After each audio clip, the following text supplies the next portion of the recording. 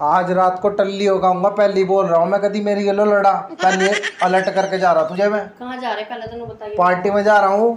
मैं बता रही हूँ थारी भी थार दोस्तों की भी साथ में लगकर टांगे तोड़ूँगी बता रही हूँ।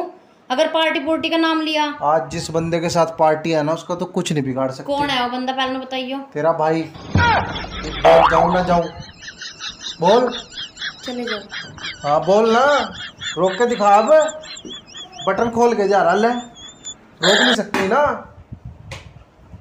बटन। मना कर दूँगा हँसते मैं को मना कर रही रोक रही नाराज़ हो जाएगा गला। समझ गई?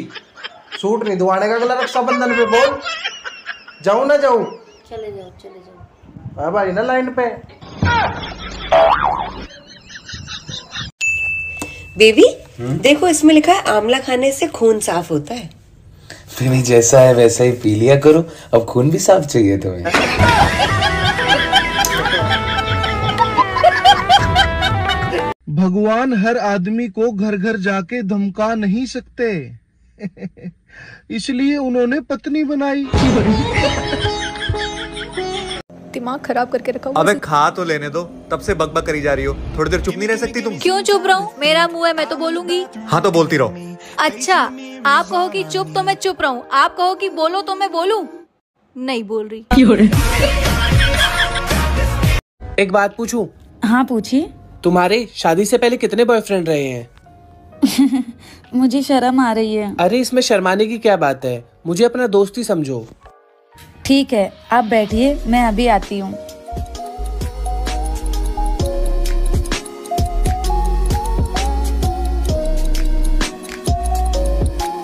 ये क्या है? वो मैं जब भी कोई नया बॉयफ्रेंड बनाती थी ना तो एक चावल इस लिफाफे में डाल देती थी। ओह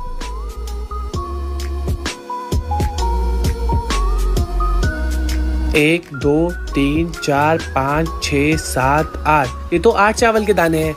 आजकल इतने बॉयफ्रेंड तो नॉर्मल बात है।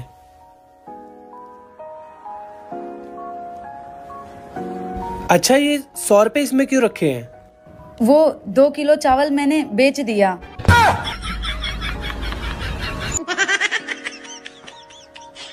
तुमसे शादी करने से अच्छा ना? मैं कुवारा रहता। मैं भी अपनी अम्मी की बात मान लेती है तो अच्छा होता।